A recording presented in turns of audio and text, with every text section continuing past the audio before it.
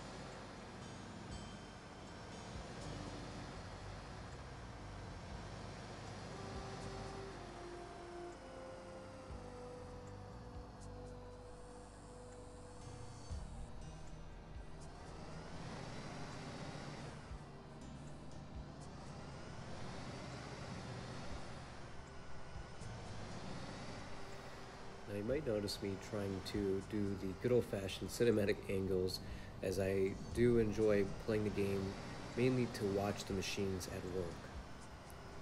Please leave in the comments below if these cinematic angles bother you, if you would rather trail behind the trucks or the machines.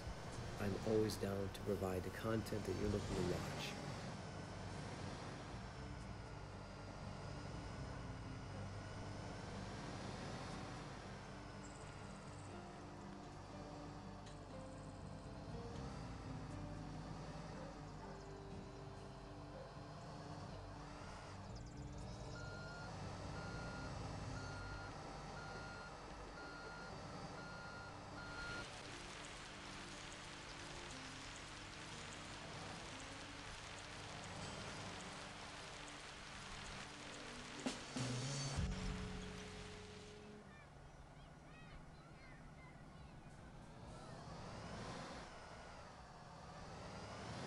And with our first contract officially completed for the series, we are going to get things kicked off. Look at that, five minutes. This is already cutting into our six hour time frame.